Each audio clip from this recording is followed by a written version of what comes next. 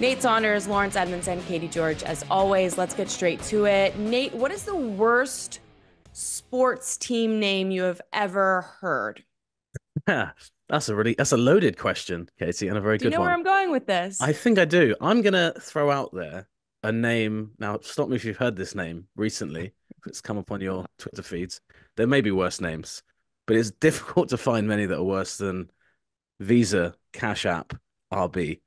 Uh, which obviously we found out this week is what we call the team formerly known as Alpha Tauri and formerly formerly known as Toro Rosso. Um, I'm sure that there's worse team names, but I can't think of many right now.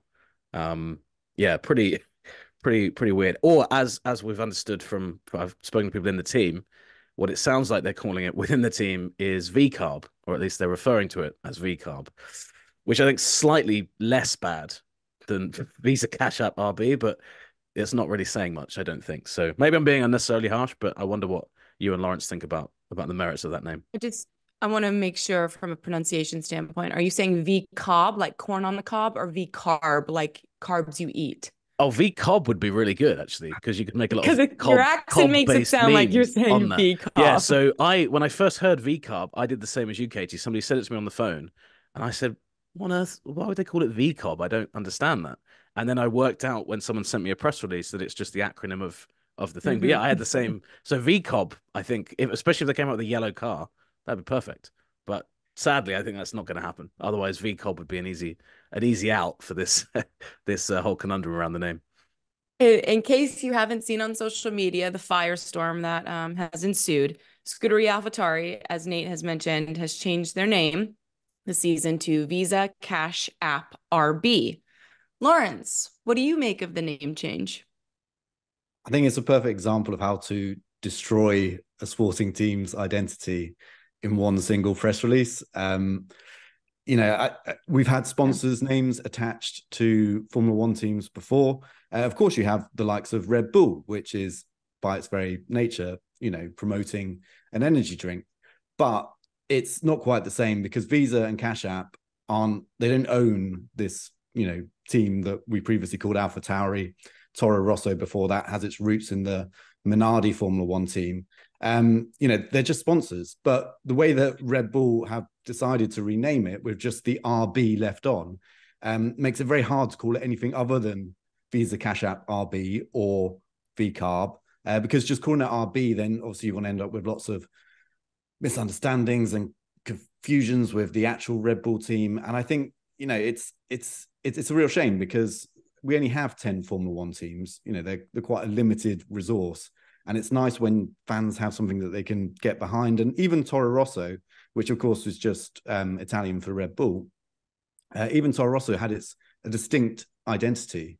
Um, you know, something that was that was really quite cool and you could hold on to. And it was always a young team and, and that kind of thing. And it'll be interesting to see how, you know, to give Red Bull some some credit here, how they then market this. But I just can't imagine anyone wanting to go and buy Visa Cash App RB merchandise, for example, and walk around with a big Visa sign across their back. I mean, I know people do it with all sorts of other other you know brands in in the sport of course mercedes is essentially a car brand and ferrari you know even that is is a car brand but they just have so much more history so much more identity so much more connection to the sport that visa and cash app just do not have yeah, and I think that's a really great point. And I want to call out one of the things I've noticed already from the Red Bull side, mm. which is kind of the way that the messaging is around this. So I've heard a lot of people, I say a lot of people, people I've spoken to, I think there's a party line within Red Bull already that is is is Laurence made the point perfectly. There is a difference between this and Red Bull coming into Formula One in 2004 because they bought the team. I've heard a couple of people within Red Bull say, well, this is the same. Visa Cash App, they're both disruptive brands. They're both coming in and you know they want to upset the status quo. And I think there's nothing less disruptive than a brand like Visa. It's one of the biggest brands in the world.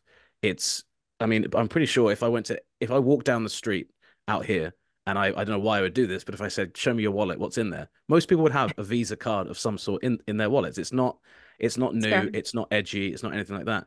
And Red Bull, when they came in, were exactly that. They were edgy. You know, if you if you go back and look at the history of Red Bull, when Dietrich Mateschitz first kind of brought that concept um, from Asia over to Europe, where it first really became big was in nightclubs in Europe. It was you know something that people used to kind of get them through the night of of you know raves and crazy parties and stuff. So it was edgy. It was seen as something that was you know it, it wasn't it was almost underground, and they marketed it that way, and that then translated into their sport. So I think that when Red Bull say that, and I think you're going to hear that a lot this season. Yeah, I think that's kind of you know keep mm-hmm. keep an eye out for that in kind of the launches and as we go into the season you know our visa cash app so disruptive so so left field which i don't think is true i think that does a disservice i think that's red bull doing a disservice to themselves because yeah. they genuinely were that when they came in they genuinely did come in they obviously have the red bull air race they've come in and they've you know they've they've bought their way into a lot of different sports and Dietrich Mateschitz left an incredible legacy for that because his vision his vision was something that no one had seen before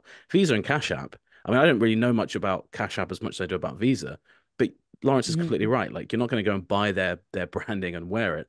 Red Bull at least was able to lean into that kind of the they were they've they've always been the kings of marketing. And I think if you look at other Formula One teams, they've always seemed a step ahead of the rest in terms of doing things a bit differently to other people.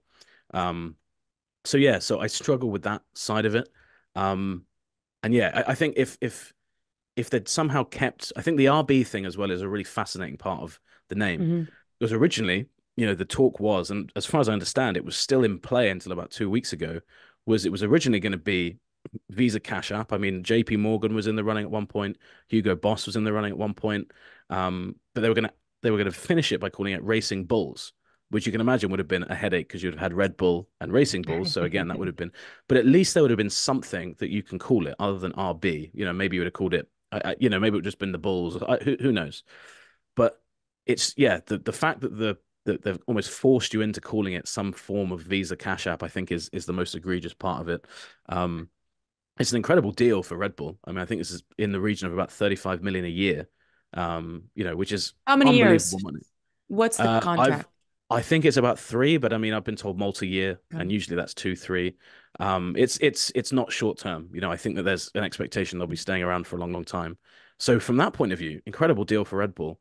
But yeah, the the kind of the residual blowback has been so negative, and often that stuff does with time it eases off and people kind of get more used to it. But you wonder with this, uh, I just can't see people. I can't see somebody like I know somebody. One of my good friends has, has always been. A, I tell Laurence this is always quite funny. Like he's always been a Force India fan. I've always said, why on earth are you a Force India fan? But it, it goes back to you know previously being being Jordan, then being Force India, and then you just can't see somebody willingly saying, "Yeah, I'm a I'm a I'm a V carb or I'm a I'm a Visa Cash App RB fan." It just you wouldn't tell people that, you know, in the same way you might say I'm a Red Bull fan or a Ferrari fan, even Alpine. You know, Alpine, a team we've kind of questioned their, the logic of that brand before, but it is still a strong brand within motorsport, you know, and, it, and it's a strong team name. So, so yeah, um, sorry, that was a long way around to, to to come back to the point about the messaging from Red Bull's been a bit strange, and I think if that continues, hopefully fans kind of reject that because I think that is kind of nonsense to say that Visa and Cash App are similar similarly disruptive to to a to a company like Red Bull. It'll be interesting to see in three years from now if we made a bunch of out of nothing. You know what I mean? And yeah. it, it they run with it and we forget about this entirely, or if in three years they've switched their name because clearly marketability it hasn't worked. Yeah, it is a good point because um, you know once that deal ends, then presumably it's up for grabs, and another mm-hmm. brand might come in with more money, and then at what point do Red Bull say, "Oh no, we want to keep Visa Cash App because it's such a great name, and that's what we intended to call it in the first place." But I think the big thing is it's just it, it kind of shows what that team is, which has always been a second team, and um, previously it was a way to bring young drivers into the sport to give them a, mm-hmm. a grounding, uh, usually towards the back of the grid, but then prepare them to become Red Bull drivers. And it's been slowly moving away from that. I mean, obviously with Daniel Ricciardo and the team, Yuki Tsunoda staying on for I can't remember exactly what's third or fourth year in Formula One as well. That that identity has gone, and now it just seems like it's the you know it's just a way for Red Bull to make a bit of extra money from being in Formula One. I just find that really hard to get behind, even with someone like Daniel Ricciardo in the team. I just don't think there's going to be that many fans of the team going forward. Um, but does that matter? I suppose you know. Does Red Bull really want to have people following their junior team rather than their senior team? Maybe not. So, um, I, but it just does seem to be a decision completely dictated by money. Shouldn't be surprised. This is Formula One. It's you know international sport. That's the way things have gone. But um, I think it's just a, just a bit of a shame because especially when you know got ten of these teams, another one has changed its name from uh, Alfa Romeo, which to be fair was pretty much exactly the same thing, just a sponsor, but it was a name that was historically very linked with with, with, with motorsport. Um, and a team underneath, which is Sauber, and that's changed its name to Stake, which is another name that's quite hard to get on board with. Um, but I suppose, but at least they're still, at least they're still Sauber, I guess, is what you could come back to with that, right? I mean, it's still nonsense, but it's well, yeah. I mean, they're quite keen on it being called called Stake, as in you know, in the same way that you could, I guess, still call uh, the Visa Cash App team RB, or if you really wanted to, you call them Alpha Tauri or Toro Rosso. I mean, it's kind of you know, yeah, true. Um, but yeah, there's there's probably more logic to calling them them Sauber still. But the other thing about that, of course, is it's changing to Audi in 2026, so it's kind of a stopgap. But yeah, I'm not sure what this is, whether this is a stopgap, whether it's long term. It just yeah, it just feels like it's something very hard to to be excited about. Thanks so much for watching ESPN on YouTube. And for more sports highlights and analysis, be sure to download the ESPN app. And for premium content and live streaming, subscribe to ESPN Plus.